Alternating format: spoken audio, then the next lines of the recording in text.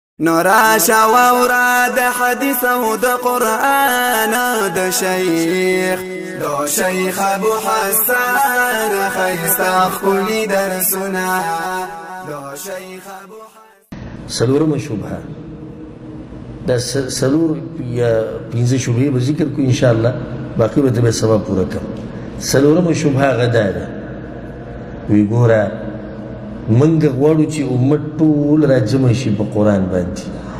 نو دې حدیثونو په امت کې څه پیدا کو اختلافات پیدا کو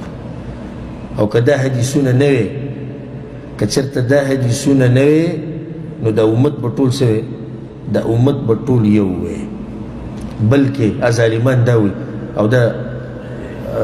کم چې د پرویزیان دي دوی چې کم مشر پرویز هغه دا خبره کړې ده وی دا د يهودو نصارو چال له چې زمونږ د امت ټوکړي ټوکړي کو نو دغه ایرانیان راته پیدا کړو ایرانی نه مراد امام بخاری مسلم نسائی ابن ماجه وی دایره ته پیدا کړو نو دوی وی د ځان نه خبرې جوړې کړې چی دا امت ټوکړی ټوکړی شی ګینه وی په دی کتب سته ولا کې عربی کم ځای کې دی دا به خطرناک شوبه ده ټول وی دی ایران د طرف دی نو دا کار خب باقاعده ایران په دغه کړی دی خب په سوچ سمجھ سره چې په مسلمانانو کې څه پیدا شي فرقې پیدا شي د چا چې د ایران سره نه لګي هغه به جذبه شي او داسې نور شي وروره د ده خبرو کېدی شي نه د کېدی شي نه مخکې اول خبره واوره بیا به پکې وروسته سوچ کې اولنۍ مسله دوی چې وایي چې موږ امت را جمع کوو په قرآن باندې او اختلافات نه پیدا کوو نو جواب د دې خبرې دا دی چې امت خو یو اختلاف تاسو پیدا کو امت څنګه یو د امت اتفاق چې قران به منو او څه به منو حدیث به منو نو اختلاف خو دوی پیدا کوي حدیثونو له اعتبار نشته دا خو دوی وای تاسو مټ ټوټه کو دویمه خبره وی په قران کې صرف اتفاق ته که حدیثونه تلر کوه صحیح ده تاسو صرف قران منی وی او نو بیا په تاسو کې هم دلی دي نو تاسو خپل اتفاق نه دی راغلی نو په موږ کې به څنګه اتفاق راوړي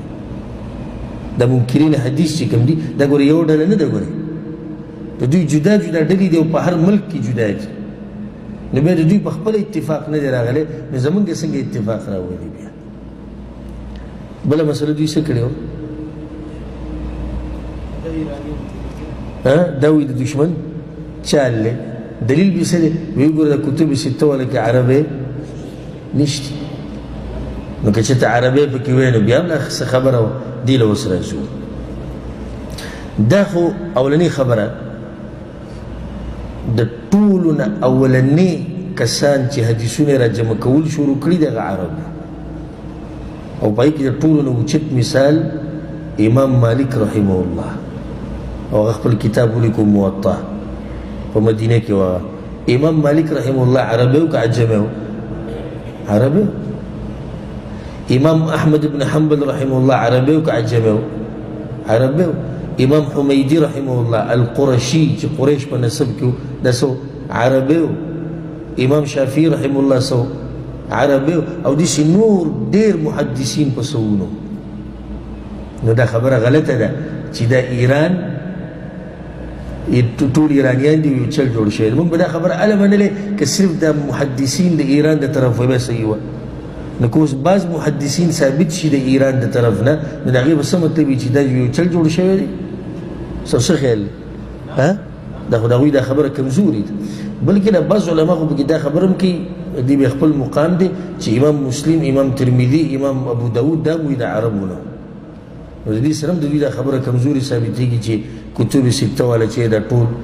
عجم او که عجم شنو سی چلو شو سلمان فارسی رضی الله عنه عجم او کنو وو رسول سلام بیا مو سلمان منا وفینا سلمان فارسی په من کې دی او زمنګ نه دی سلمان فارسی په منګ کې دی او زمنګ نه دی که ثابت شو نسی چلو شو بلال رضی الله عنه حبشي او کنو څومره اوچت مقام عمر بن خطاب بوي وی بلال سیدنا بلال زمونږ څه دی زمونږ سید دی زمونږ مشر دی دا شاه صہیب الرومی رضی الله عنه د رومو څه چلو شو دی کی اسیغه حدیثونو کې یو شک پیدا کول د خلکو لکه اوس ته اوس مسلې بیانوم یو کس راشي وي د دې د مسلې به معنی دا ټول غلطي خ دلیل په سره چې غلطي دي ځکه چې دې په کومه جبه کې لګیا دي په پښتو کې لګیا دي نو دا یو چال جوړ شوی دی ساسو د دین په تاسو خرابوي دا که حق نه دا په عربي کې بیان دي پریدي سي مثال خزه چې په پښتو کې کومې خبرې کوم د خپل جیب نه کوم نه امام بخاری رحم الله چې دا کتاب را جمع کړی دی په دې کې هغه څه لیکلي سره جمع کړي د پیغمبر حدیث را جمع کړي دي نبی ته سره په دې باندې اعتراض کوي خپل خبرې غوړي دي کړي